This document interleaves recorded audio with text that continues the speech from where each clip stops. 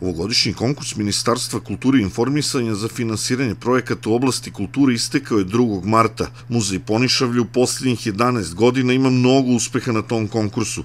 Ministarstvo je finansiralo čak 22 projekta našeg muzeja, svake godine minimalno po jedan. U 2022. godini, zahvaljujući tim sredstvima, Muzej Ponišavlje je realizovao dva projekta ukupne vrednosti oko 660.000 dinara. Za ovogodišnji konkurs naš muzej je prijavio četiri projekta, ukupne vrednosti oko 2,2 miliona dinara.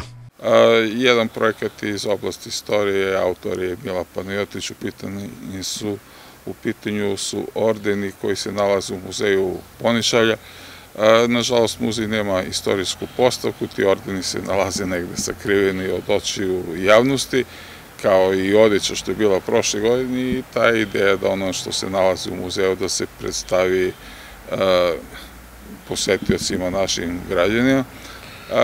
Drugi projekat iz oblasti digitalizacije probat ćemo nešto tu, to je saradnja sa nekim ljudima sa strane i preostala dva projekta su interesantna i važna za naš muzej. Treći projekat je iz oblasti etnologije, vezano je za grčarstvo i četvrti je projekat vezano za konzervaciju, naime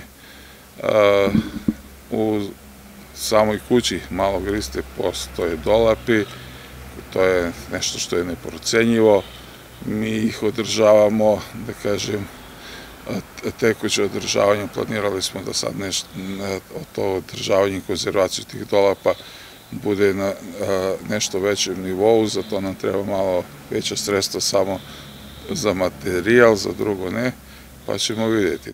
Rezultati konkursa Ministarstva kulture i informisanja biće objaveni krajem aprila ili početkom maja.